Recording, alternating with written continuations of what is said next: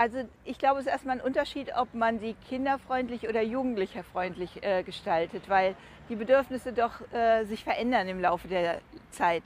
Also kinderfreundlicher kann man sie bestimmt gestalten, indem sie eindeutig ist. Kinder brauchen eindeutige Orientierung im Verkehr, viel mehr Schutz, äh, als sie im Moment haben. Die Ampelphasen sind nicht kinderfreundlich. Also Kinder auf dem Schulweg, die über eine ähm, Ampel rüber müssen, haben oft Probleme, vor allen Dingen, wenn es eine Mittelinsel gibt.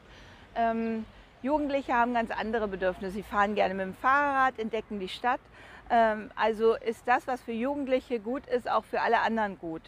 Und sichere Fahrradwege, sichere Verkehrsverbindungen sind ganz wichtig, denke ich. Und dann natürlich die Möglichkeit, sich zu versammeln, ohne Konsumdruck und ohne Gefährdung. Äh, das ist zum Beispiel bei uns in den Bibliotheken möglich und da wird auch wird sich tatsächlich viel versammelt und gerne versammelt.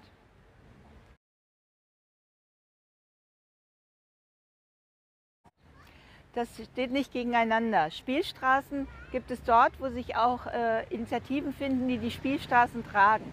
Der Hintergedanke ist ja nicht, dass das Amt kommt und sagt, jetzt machen wir eine Spielstraße und dann drei Beamte an jede Ecke setzt, sondern der Gedanke ist der, dass sich Anliegende zusammentun und sagen, in unserer Straße möchten wir gerne, äh, was weiß ich, Mittwochnachmittag und Sonntagnachmittag eine Sperrung, damit hier gespielt werden kann, damit sich alle mal treffen und kennenlernen, die hier in der Straße wohnen. Und dort, wo die Initiativen da sind, ähm, dann finden die bei uns auch einen Ansprechpartner und wir richten dann auch Spielstraßen ein und da gehen alle Parkplätze sind dann gesperrt. Also es geht nicht um einen Parkplatz oder die Spielstraße, sondern die Spielstraße ist ein Konzept, wo alles andere dann zu verschwinden hat und untergeordnet wird dem Ziel, einen Raum für Kinder zu schaffen.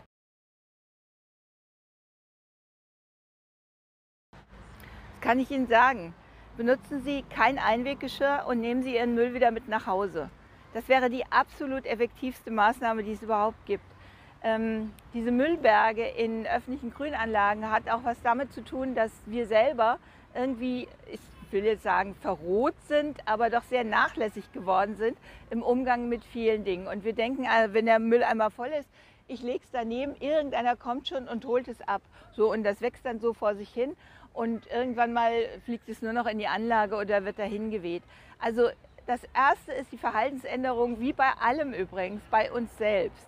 Das ist ganz wichtig. Es ich kann Mülleimer aufstellen, so groß wie ich will. Es wird nichts ändern. Das Verhalten muss sich ändern. Wir müssen mehr Respekt vor dem Grün haben. Das gilt es zu schützen.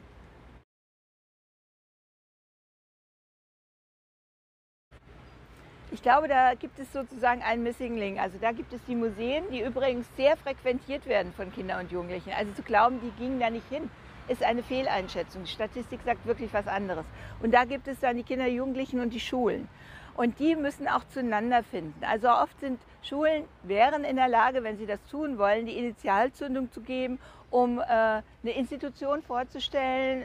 Was weiß ich, geht ins Deutsche Historische Museum oder die Fotoausstellung, wie sich ein Kiez entwickelt hat in der Berliner in der Berlinischen Galerie oder was auch immer. Themen, die also Jugendliche ansprechen können und äh, den einfach darauf aufmerksam zu machen. Und meine Erfahrung ist, wenn man als Jugendliche ein, zwei, dreimal vielleicht im Rahmen von irgendwelchen Projekten ja, in einem Museum war, dann findet man das spannend. Man hat es kennengelernt, weiß, das ist jenseits von verstaubt, das ist Hochtechnologie. Es ist wahnsinnig interessant und ich nehme da Sachen mit, ohne dass mir irgendjemand hinterher ein Zeugnis ausstellt, ähm, die ich anders nicht erfahren hätte. Also oft bedarf es einfach der Annäherung dieser äh, beiden, der Lebenswelten. Und dann sind Museen eigentlich meiner Erfahrung nach fast Selbstläufer. Museen machen sehr, sehr viel, auch um schon jüngere Kinder äh, an sie heranzuführen. Wir haben also museumspädagogische Projekte, auch vom Stiftung Preußischer Kulturbesitz. Die einzelnen Häuser machen das. Also die sind sehr darum bemüht, weil sie wissen, das ist unsere Kundschaft und auch unsere Rechtfertigung für morgen.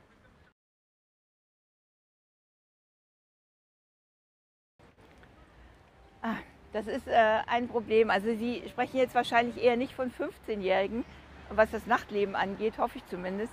Also ähm, das ist eine Frage der Verkehrsverbindungen, das ist eine Frage der, ähm, der Versammlungsorte insgesamt. Und ich finde, dass zum Beispiel die auch eine Verantwortung dafür tragen, dass ihr junges Publikum sicher hin und sicher zurückkommt.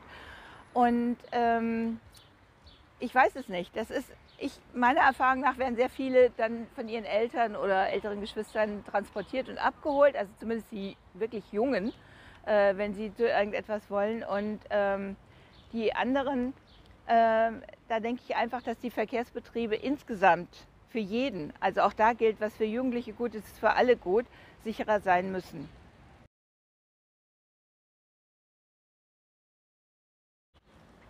Das kann ich Ihnen gar nicht beantworten.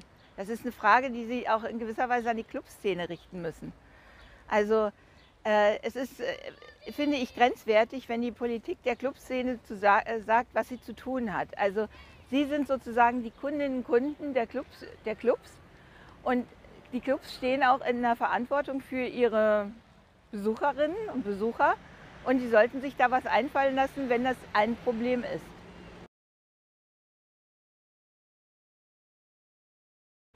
Weil das für die Unternehmen attraktiv ist, E-Roller in Mitte abzustellen.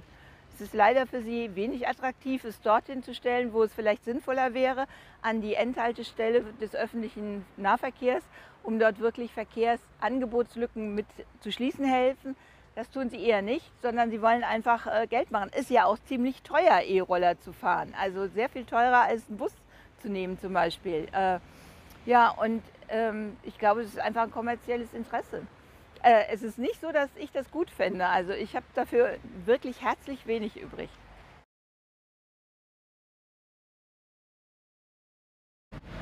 Das Allerverträglichste ist, wenn Sie sich einfach an das halten, was Sie dürfen, nämlich wenn einer alleine auf seinem Drehtoller auf einem Fahrradweg fährt. Das ist dann ein Verkehrsteilnehmer, ein Nutzer des Fahrradwegs unter vielen. Ähm, wenn er meint, unbedingt auf dem Gehweg fahren zu müssen, dann ist er für niemanden verträglich. Dann ist es, das ist einfach äh, ähm, auch nicht zulässig. Da ist wieder die Frage, halt, hält man sich an Regeln, die eigentlich ein einigermaßen äh, verträgliches Nebeneinander möglich machen würden oder hält man sich nicht dran, weil es äh, so witzig ist, damit einfach quer durch den Park zu sausen. So, das ist aber nicht verträglich.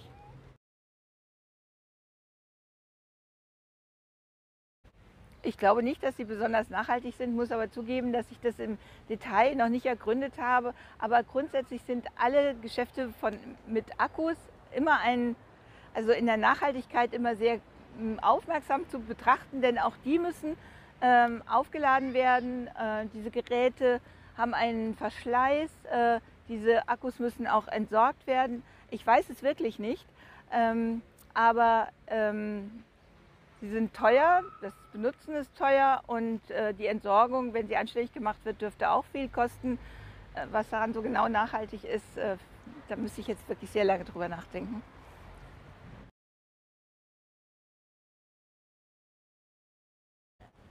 Wir tun dafür eine ganze Menge. Also wir haben zum Beispiel Jugendkunstschule neu strukturiert. Also es ist ein unglaublich offenes Angebot mit äh, für viele Altersgruppen. Also es ist nicht irgendwie, da kommen Fünfjährige hin und malen Häuschen oder Strichmännchen oder so, das, darum geht es da gar nicht mehr, sondern äh, das ist wirklich so eine Kreativitätsschule.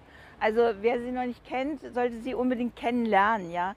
Und ähm, dann haben wir natürlich eine riesige Musikschule, dann haben wir besondere Angebote auch in den Bibliotheken hier im Bezirk. Das sind die Makerspaces, das ist Mitte absolut führend. Also wenn Sie mal lernen wollen, äh, wie schreibe ich kleine Programme oder äh, wie benutze ich einen 3D-Drucker oder sonst irgendwelche Themen aus, dieser, äh, aus diesem Bereich, den man nicht so zu Hause hat, also die, die Ressourcen dafür, dann äh, kommen Sie zu uns. Also da werden Sie das alles bekommen. Auch äh, übrigens in der Volkshochschule. Die fängt auch nicht erst mit 18 an, sondern wir haben Sommerschulen, alles Mögliche. Also wir haben ein Riesenangebot.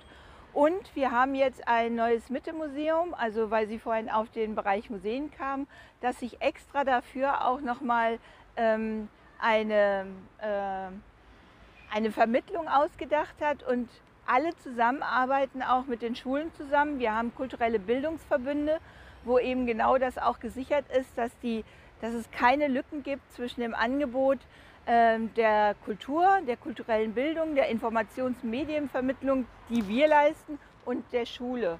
Und dass einen das durch alle Schulformen hinweg durchbegleitet und nicht, äh, wenn man von der Grundschule in die Oberschule wechselt, man alles plötzlich lassen, hinter sich lassen muss.